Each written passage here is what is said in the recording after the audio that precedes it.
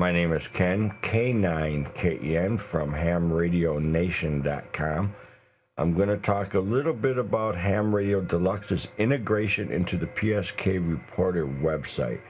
Now, in case you don't know, the PSK Reporter website is a mapping suite that was created by Philip Gladstone, which tracks PSK reports over the internet. Um, Ham Radio Deluxe and several other software packages that are used for digital modes have this built in, and you can report to the map and uh, get data back from the map and use it to plan propagation and uh, see how you're doing.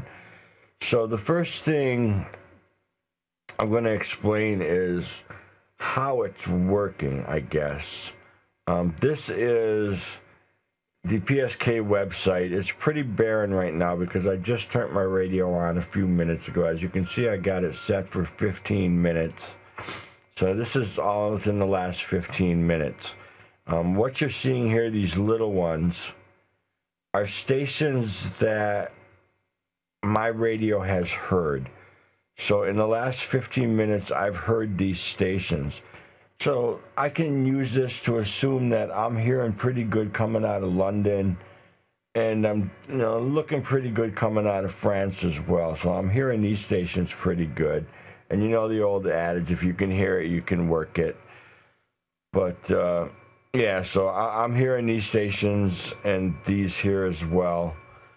So that's what I'm hearing. The larger bubble is my station. It's a monitor station currently because I am not transmitting. Um, if I change this to, let's see, on all bands, show signals sent and received by the call sign, use my call sign. In all modes, we'll get rid of my call sign, do it to anyone, and you'll see a whole different map.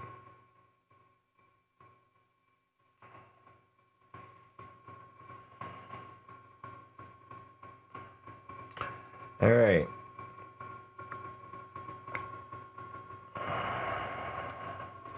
Kind of get this centered here so it's usable. So what you're seeing here is, like I said, the small stations are stations your radio is hearing. Your software is actually hearing these and letting you know that it has heard them and reported back to the map that you've heard that particular station. Um, when you've got it set in anyone mode, this is per, you know purely traffic from everybody, not just you, but for everybody. So you can hear tell that propagation from the U.S. into Europe is actually pretty good this morning. I mean, you can see a lot of um, North Atlantic uh, traffic going on here, so you can tell that the band is pretty open. Uh, if you got a decent station and you're, you know, you're going to give it a shot, you've got a real good chance of getting into Europe because this is actually showing a lot of traffic coming across here and into Europe. It's also showing stuff from Europe going down into South America, some uh, North American stations down into the tip of Africa. So, you know, that, that can be useful information if you're trying to plan your propagation, figure out where you need to be, or not where you need to be, but where you want to be. So, that's a good thing. So there's there's one other aspect which is I'm going to set this for 24 hours. Uh, set it for this call sign and my call sign because I did some PSK work yesterday morning. Hopefully that's still in the map here. Yeah, sure it was. So okay. I'll zoom in on this a little.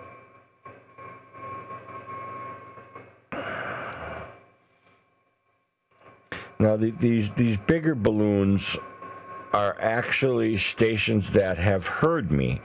So when I called CQ yesterday morning, these are the stations that heard me when I did it last.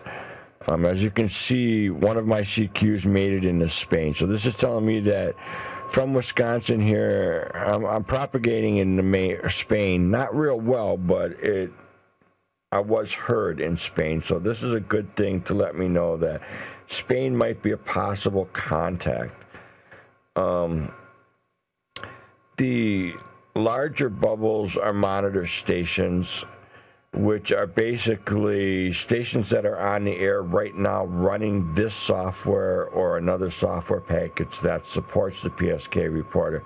They're not necessarily transmitting or even listening for that matter. They could have set it up and went on vacation for two weeks. Who knows?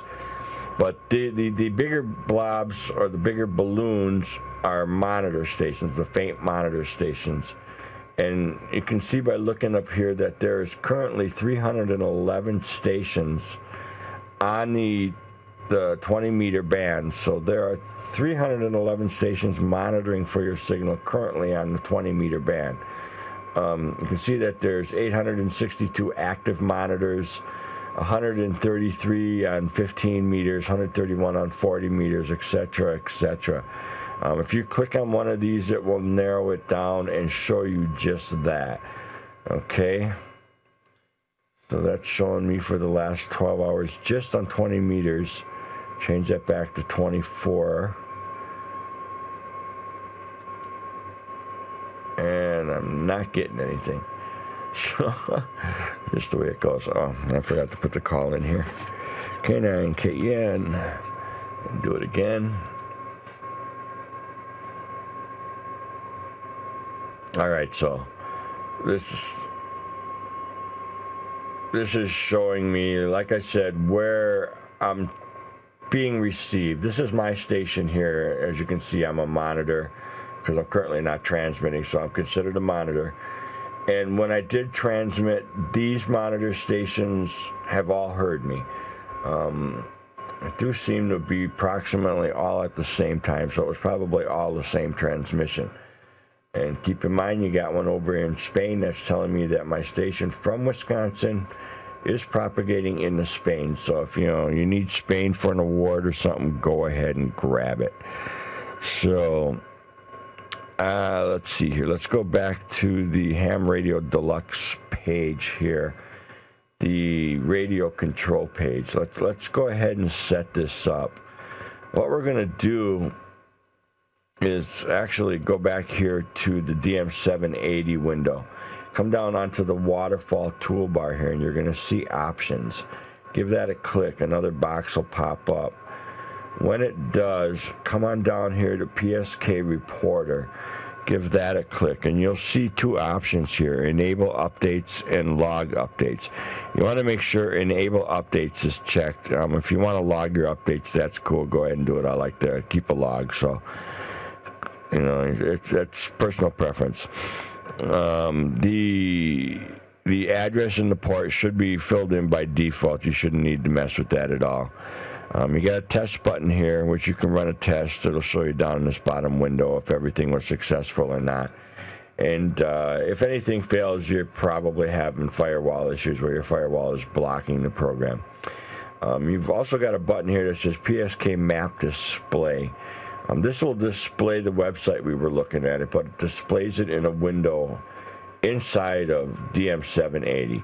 My problem with this is Ham Radio Deluxe uses Internet Explorer as its default browser, and Internet Explorer is a pig.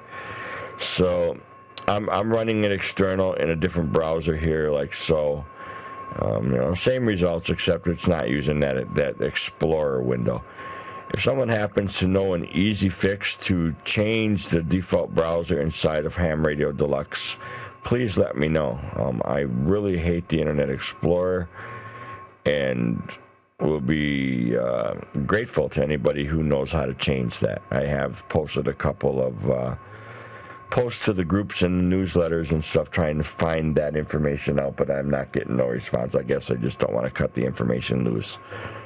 So let's close this. I should pretty much cover it. Um, let's see. Go back here to this window. That's covered it. Another thing you probably want to look at here is um, if you want to link directly to your map, use the permalink because the address up here is not going to change as the options down here change. So this will be actually the first page we've seen, regardless of what this is showing down here. So use the permalink. Excuse me. And use that for linking to it. That'll bring it directly to this page and will actually put your call sign in the link and everything so it knows to pull you up for what time frame and so on and so forth. So I hope this was useful. If you have any information or not information, any questions, don't hesitate to leave me a comment or maybe drop me an email. If you are a member of the Ham Radio Nation, you can also contact me there. If you're not a member of Ham Radio Nation, I expect to see you there real shortly. So get off your butt, go over there, sign up. We could use the membership. Thanks. My name is Ken, K9KEN from hamradionation.com. 73s, my friend.